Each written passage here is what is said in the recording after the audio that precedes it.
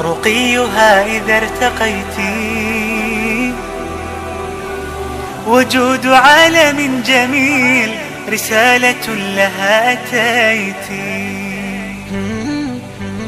توازن الحياة أنت. السلام عليكم ورحمة الله وبركاته. الحمد لله الحمد لله حمدا كثيرا طيبا مباركا فيه. ملء السماوات والأرض وملء ما شئت من شيء بعد. وأصلي وأسلم على خير النبيين والمرسلين محمد صلى الله عليه وعلى آله وصحبه والتابعين ومن تبعهم بإحسان إلى يوم الدين. أما بعد أعزائي المشاهدين والمشاهدات أهلا ومرحبا بحضراتكم معنا. ومع حلقة جديدة من برنامج من وراء حجاب. في هذه الحلقة أسعد مع حضراتكم بموضوع مهم. موضوعنا النهارده بيتكلم عن الصداقة بين الولد والبنت، الصحوبية، آه، ال boyfriend أو ال girlfriend. طبعا زي ما بنسميها وزي ما بنسمعها وزي ما بنشوفها في الأفلام والمسلسلات وخصوصا ال- الأجنبية الغزو الفكري الغزو الاجتماعي الغزو الثقافي اللي جاي من الخارج بيقول إن عيب ما يكونش عندك girlfriend عيب ما يكونش عندك boyfriend إزاي ما يكونش في صداقة بين الولد والبنت؟ إزاي تعيشي لوحدك معزوله إزاي تكون لوحدك؟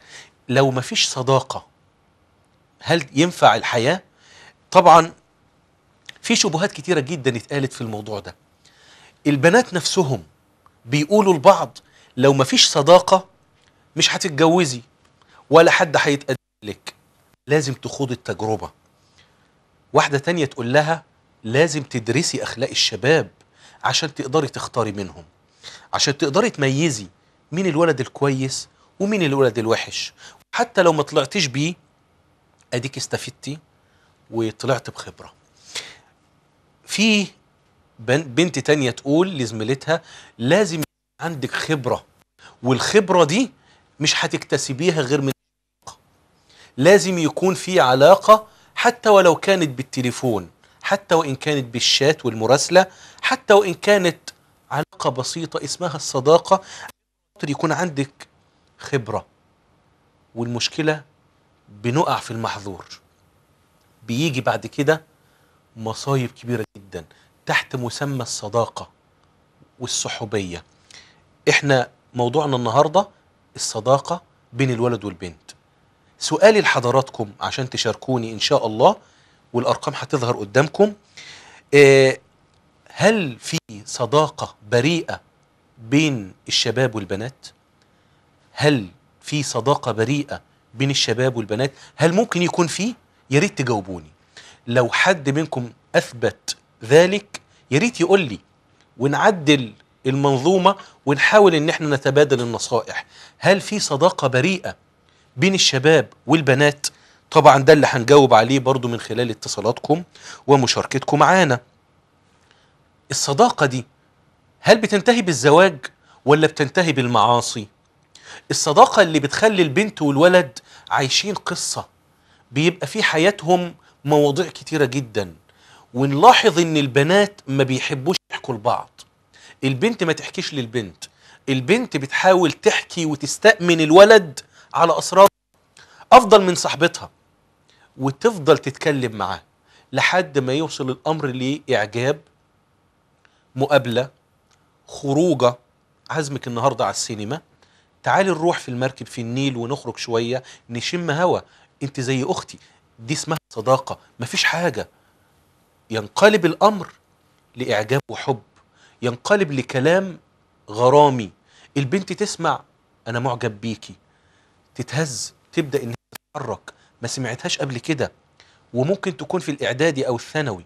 وبيسيبوا المدارس وبيهربوا عشان خاطر تخرج خروجة مع فلان أو هو يسيب مدرسته عشان خاطر يخرج مع فلانة.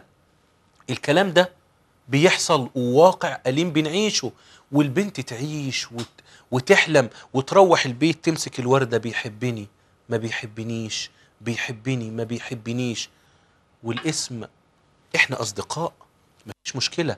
يمكن أدبسه في الجوازة دي. يمكن تكمل العلاقة دي وتنجح. طيب ما في إحصائيات بتصدم بتقول ما بيحصلش الكلام ده غير يمكن واحد في المية. هنعرفها بالأرقام دلوقتي. لكن بعض الشباب وبعض البنات لما نيجي نحذرهم من موضوع الصداقة والصحوبية يقول يعني احييني النهارده وموتني بكرة. خليني أعيش حياتي. هو أنا أحسن من غيري؟ ده غيري بيعمل كذا وكذا استغفر الله العظيم. ده أنا علاقتي بريئة جدا بفلانة. أو هي تقول أنا علاقة بريئة جدا. طيب بتقول احييني النهارده وموتني بكرة؟ الكلام ده قالوه في الجاهلية قبل بعثة النبي صلى الله عليه وسلم. وقالوه المشركين والمنافقين أيام النبي صلى الله عليه وسلم. قالوا له إن هي إلا حياتنا الدنيا نموت إن هي إلا حياتنا نموت ونحيا وما نحن بمبعوثين. قالوا كده برضه. احييني النهارده وموتني بكرة. ما ينفعش. لازم تعرف وتعرفي أنت عايش ليه. إيه سبب وجودك في الحياة؟ طبعا إحنا بنعذر الناس خصوصا في العصر اللي إحنا عايشينه عصر الفتن إن الشهوة العارمة الأساسية الأولى في العالم وفي الدنيا هي شهوة النساء وفتنة النساء. ليس لأنني أقول ذلك ولكن لأن الله تبارك وتعالى هو الذي قال ذلك. زين للناس حب الشهوات من النساء والبنين والقناطير المقنطرة إلى آخر الآية. فأول شيء شهوة النساء فتنة النساء. الولد يحب يصاحب البنت بيميل للبنت بيبقى عايز ينال إعجاب البنت بيستعرض قدام البنت. البنت بتتزين وبتتشيك وبتحط عطور وبتنزل إلا من رحم ربي طبعا. ممكن تنزل نسيت تلبس. هي بتعمل ده ليه؟ عشان تلفت نظر الولد الفلاني أو الشباب عموما فتشوف واحد منهم عشان خاطر يقع في شباكها وتبدأ الرحلة. ممكن يكون ده بسبب فقدان عاطفة في الأسرة. فين الأب؟ فين الأم؟ فين اخوكي اللي المفروض إن هو يسأل عنك رايحة فين وجاية منين؟ فين الوازع الديني اللي موجود في البيت اللي يخلي البنت أنا لا أحادث الرجال أنا ما حد أنا رايحة أتعلم أنا رايحة شغلي وخلاص حتى إن كان في كلام فهو كلام في المباحات في نطاق وحدود. مش عمال على بطال. مفيش حاجة اسمها صداقة ما بين الولد والبنت. واللي يقول غير كده فهو موهوم. واللي يقول لي ده في علاقة نجحت أقول له معلش أنت فاهم غلط. في بعضهم بيقول والله أنا مصاحبة وأهلي عارفين. وهو يقول أنا أعرف فلانة وأهلي عارفين. أبويا عارف.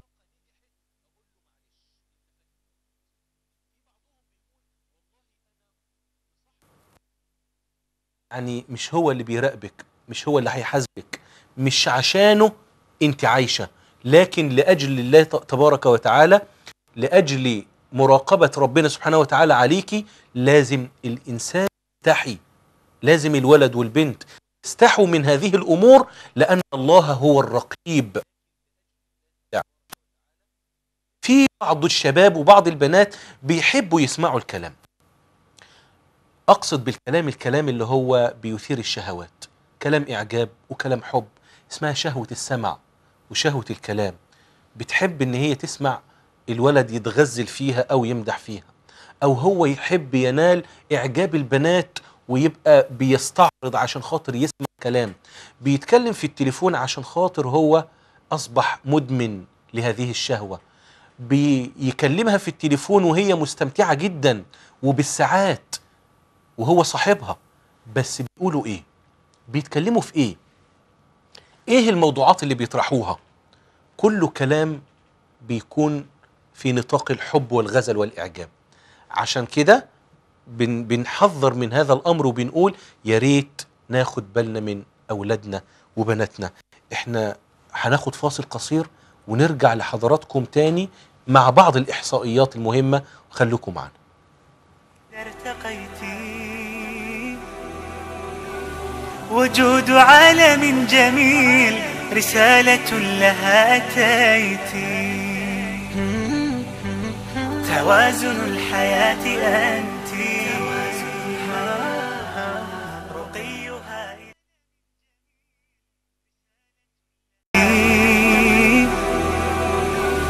وجود عالم جميل رسالة لها أتيت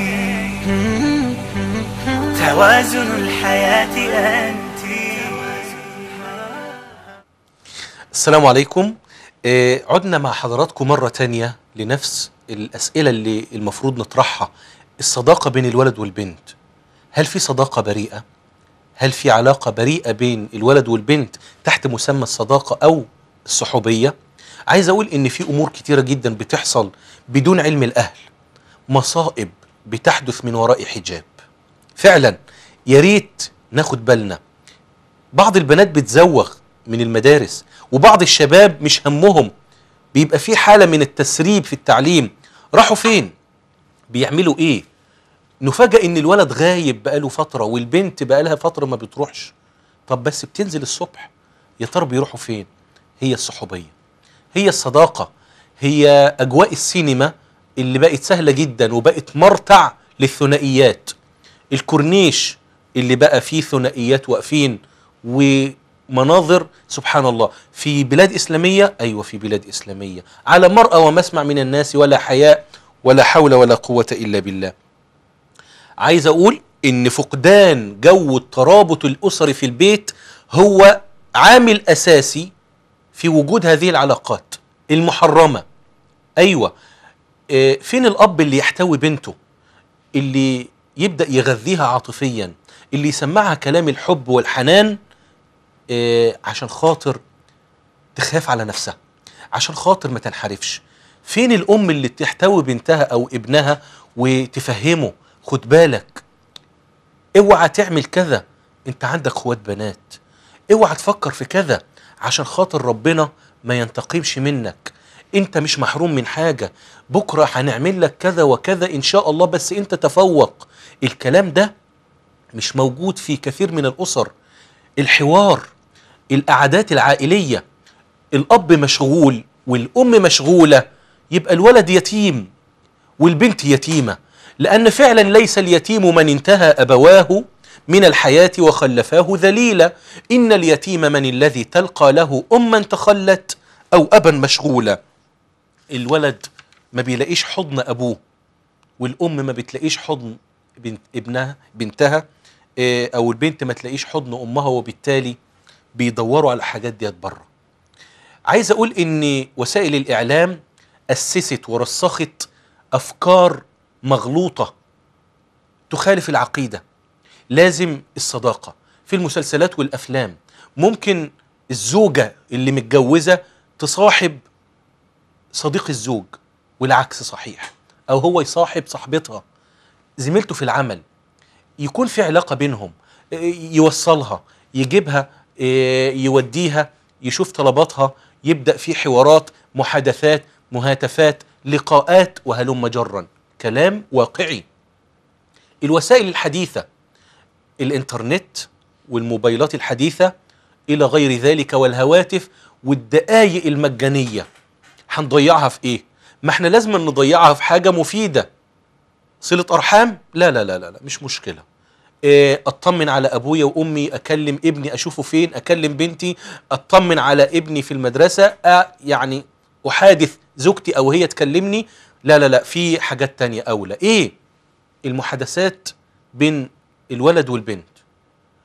وطول الليل. ودايما تبص تلاقي حتى بعض شركات الاتصالات بيعمل لك عروض مجانية. إمتى يقول لك من الساعة 12 بالليل لحد 6 الصبح؟ طب يعني يعني مش عارف. عايزين مين اللي هيتكلم في الوقت ده؟ ما هو لازم ولد سهران وبنت سهرانة تحت مسمى الصداقة وإحنا بنقول كلام عفيف. ماشي يا عم العفيف. بالله عليك ترضى لأختك إن هي تسمع الكلام ده من ولد؟ هتقول لي لأ. أنت ترضي ترضيه لبنتك إن هي تسمع كلام ده من ولد؟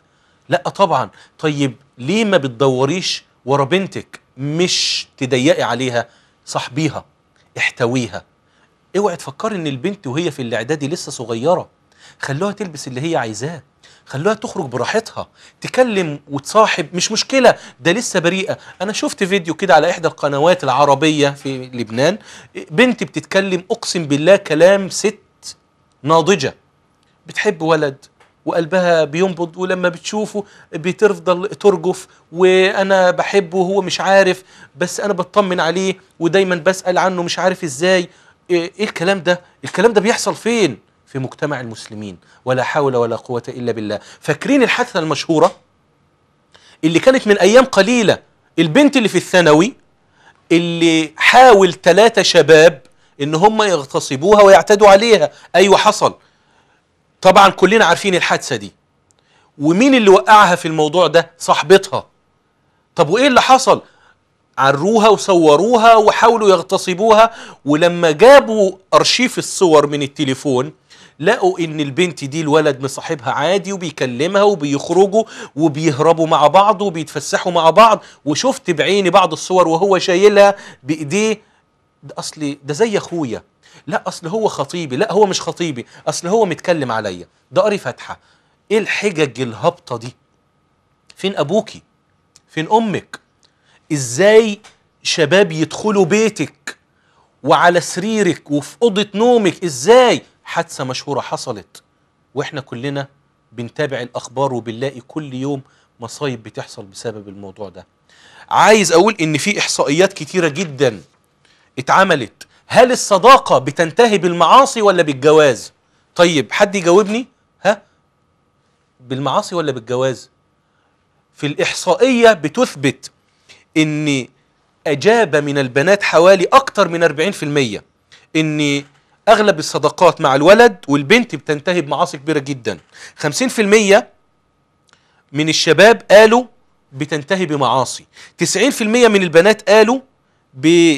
بتنتهي بمعاصي وللأسف بيحصل من وراءها مصائب في البيوت وخراب للبيوت. البنت ممكن تحمل بيحصل علاقات جنسية بيبقى فيه آه، يعني فض لغشاء البكاره بعد كده نرجع نندم نسأل الشيوخ أنا آه، حامل دلوقتي في شهر وأهلي ما يعرفوش وأعمل إيه؟ اتصالات بتجيلنا من النوع ده.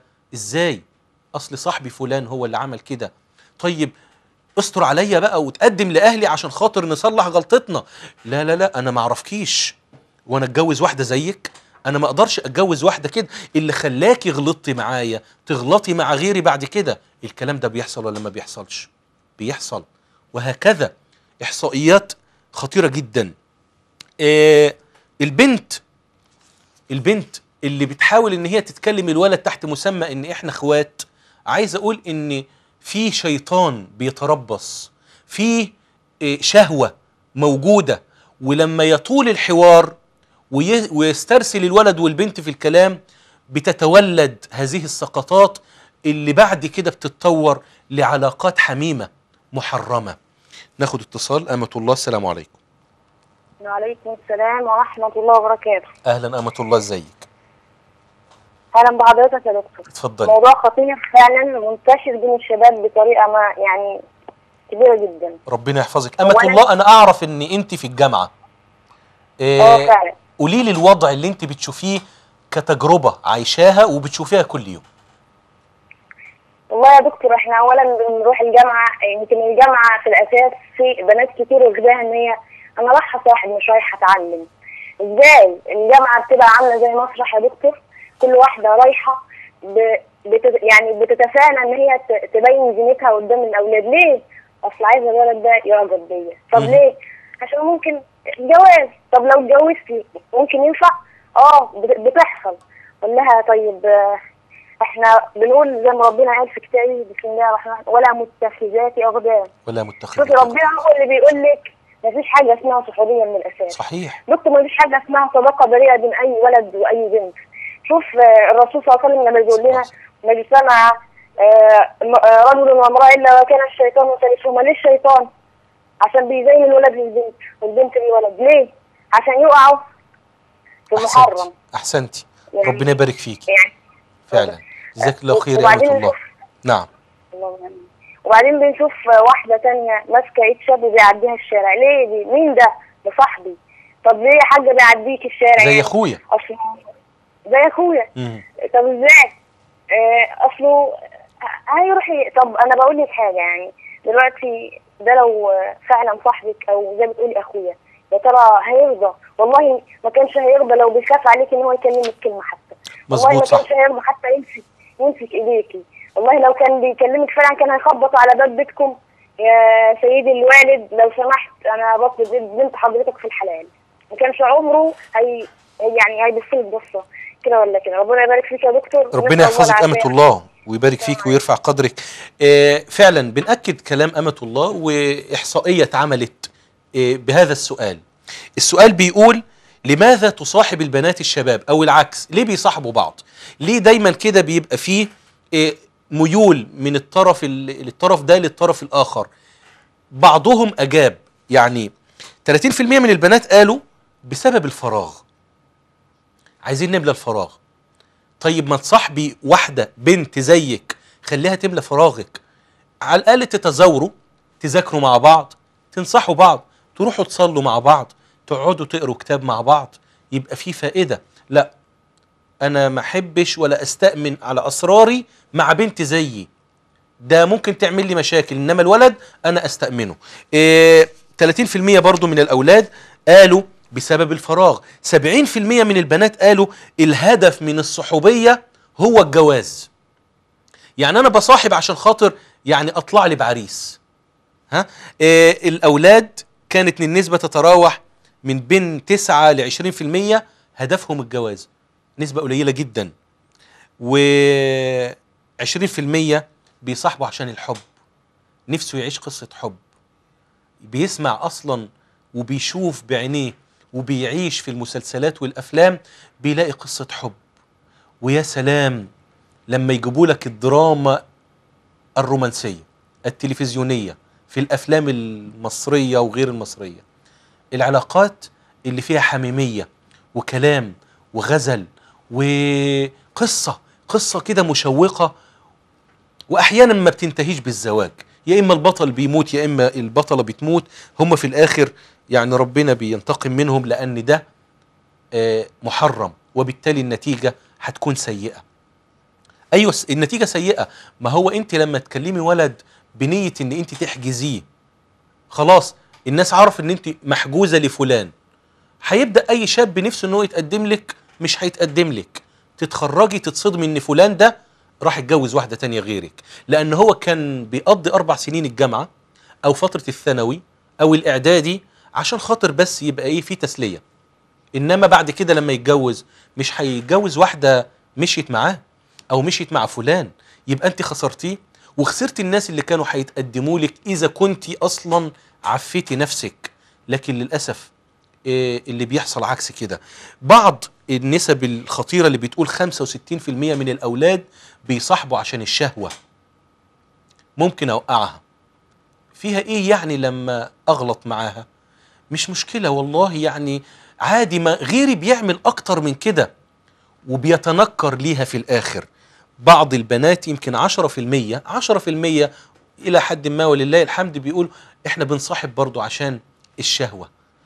لكن عايزين نقول إن الوازع الديني المفقود في البيوت هو كان السبب الرئيس في وجود هذه الأفكار الهدامة. فكرة إن أنا لازم أصاحب إن لازم أن يكون لي boyfriend إن لازم أكون ماشي مع girlfriend عشان خاطر شكلي عشان خاطر يعني حتى لو بنت مش حلوة قوي همشي معاها. عشان خاطر أصحابي كلهم عندهم اشمعنى أنا؟ يعني أمشي معاهم كده كل واحد ماشي مع ال girlfriend بتاعته ورايحين الكورنيش سوا أو عندنا فيلم في السينما عايزين نروح نشوفه وأنا لوحدي لا فأنا هاخد أي واحدة وخلاص. وتبقى المصايب اللي بتحصل من ورا الموضوع ده ما بين استسلام لغرائز جنسية بتحصل والكلام ده بيبقى في شوارعنا ولا حول ولا قوة إلا بالله. وبنشوفه في بعض المدارس وفي بعض الجامعات اللي هي بيظنوا إن كلمة الحرية فيها معناها أنا حرة أعمل اللي أنا عايزاه أكلم اللي أنا عايزاه أمشي مع اللي أنا عايزاه. محدش عليا رقيب. إذا كان بابي واثق فيا ومامي ما بتسألش عليا يبقى حضرتك هتيجي تحاسبني؟ ده بيحصل للأسف وبتبقى النتيجة عاقبة وخيمة.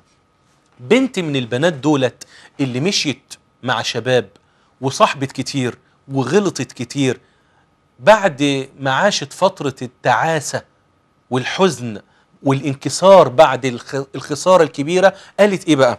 بتقول آه، كل لحظات السعادة التي قضيتها في فترة صداقتي لا تساوي لحظة واحدة من لحظات التعاسة التي عشتها وأعيشها بعد انتهاء هذه العلاقة. فعلا ساعة الندم ما خلاص بقى مفيش حل خصوصا لما للأسف تخسر وتقع في محظورات وتبقى رخيصة. وتكون مشيت مع كام ولد. أنا مشيت مع كذا وكذا. يجي مثلا حد يتقدم لها ما تصرحوش ما تقولوش أنا مشيت مع فلان أو فلانة.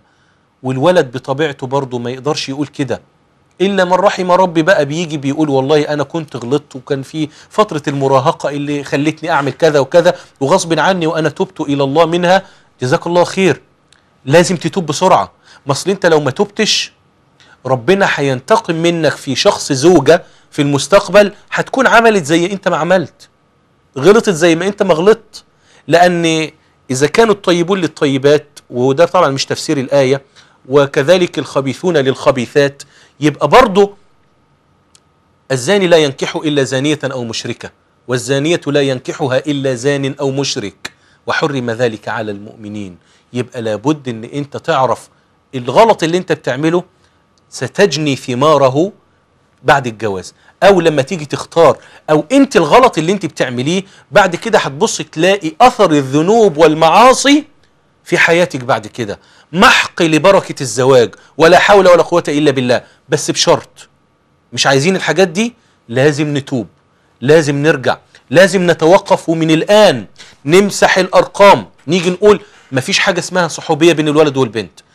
مفيش حاجة اسمها إن أنا أفضل أكلم الولد في نصاص الليالي بالساعات الطوال عشان خاطر أسمع منه كلمة حب عشان خاطر ممكن يطلع عريس المستقبل.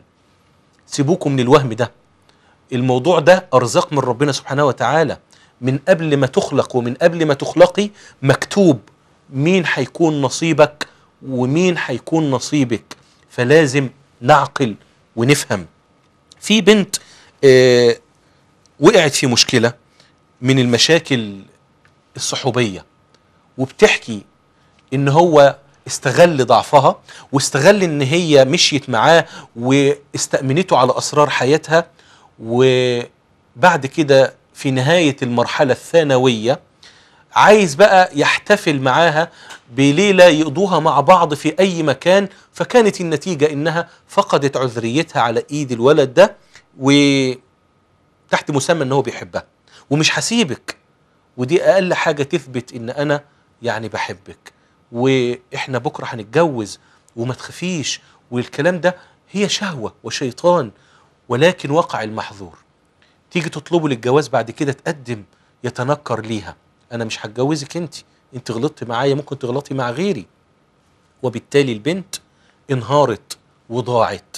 بدأت تصاحب بقى وما عادش فيه حدود لهذه الصحوبية وبدأت تغلط مع التاني والتالت والرابع لأنها بقت رخيصة لأنها رخصت نفسها على إيد فلان اللي استغل ضعفها وسذاجتها واوقعها في المحظور.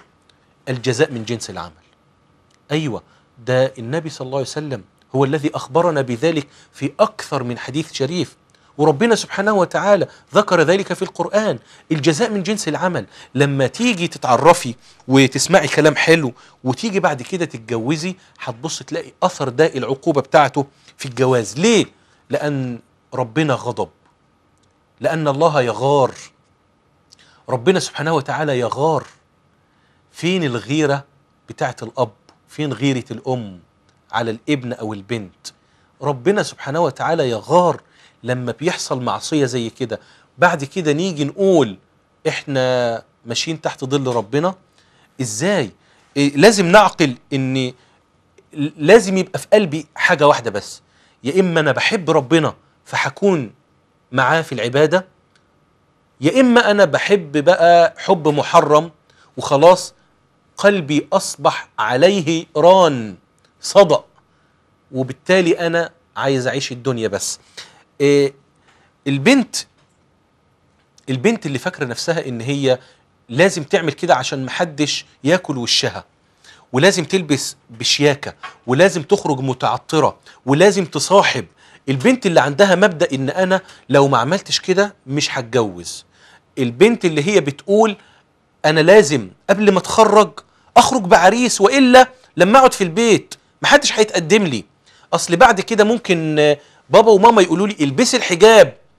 طيب أنا دلوقتي بكامل زينتي ما أنا أستغل الفرصة دي.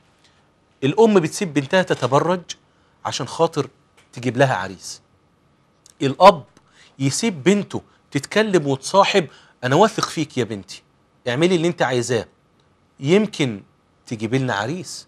يمكن توقعي فلان الغني. والمسلسلات والأفلام طبعا مليانة بالنوعيات دي. إيه، في شبهة اللي بعض البنات والشباب بيقولوها إحنا بنصاحب بس بابا وماما عارفين.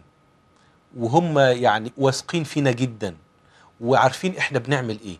عشان كده أنا شايفة أو أنا شايف إن الصداقة بين الولد والبنت طالما هي بريئة وعلاقة لا تتعدى حدود الكلام والخروجات البسيطة المحدودة فده شيء يعني عادي جدا. لأن أنا لو عملت غير كده وأصبحت منغلقة على نفسي وما بكلمش أولاد أو ما بكلمش بنات هيقولوا عليا قفل فلاح.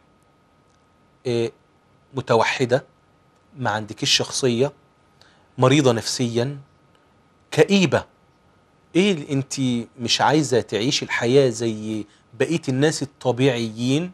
ما أصل أصبح الطبيعي عندهم إن لازم يكون مصاحب. فتضطر البنت إن هي تتنازل عن مبادئ في التربية ووصايا من الأب والأم عشان خاطر اقرانها من البنات. وإحنا عارفين إن كثرة المساس بتفقد الإحساس. لما أصاحب و... وأمشي مع بنت وألاقيها هي مصاحبة مع حد تاني فهي بتخليني زيها.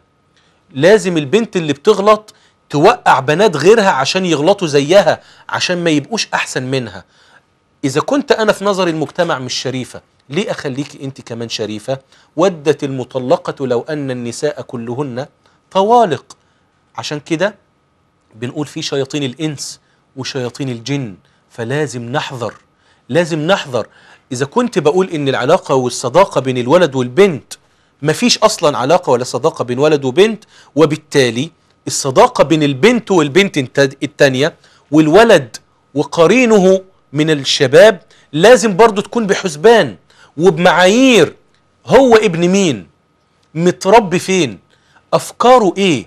توجهاته إيه؟ هو مع ربنا ولا العكس؟ هو بيروح الأماكن الكويسة ولا دايما بيرتدي الأماكن المشبوهة؟ هي من النوع اللي بتحاول يعني تبقى متحررة ولا عفيفة في نفسها؟ طاهرة.